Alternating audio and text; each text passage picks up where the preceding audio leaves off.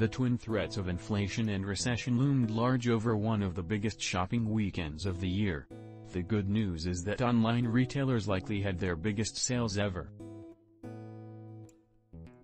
While brick-and-mortar stores also had foot traffic, there weren't long lines at checkouts, giving pause to analysts on just what revenue that shopping experience will generate.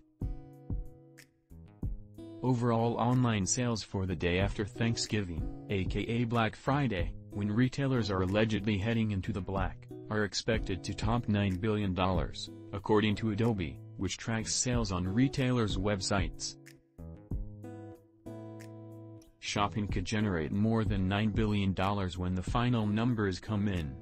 The strong Black Friday followed a Thanksgiving Day online blitz of an estimated $5.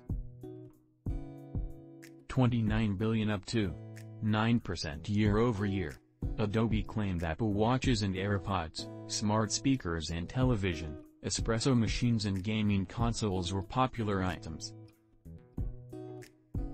Mobile shopping also hit a record high this year, with sales from smartphones accounting for 55% of online sales on Thanksgiving Day.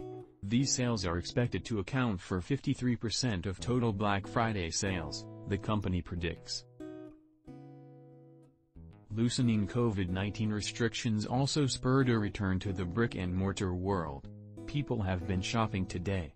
We'd expected brisk traffic and big sales numbers. We got the brisk traffic, and we'll soon know if that translated into positive numbers for the retailers, Katherine Black, partner in the consumer practice of Kearney, said in emailed comments to online news site Retail Dive on Friday evening.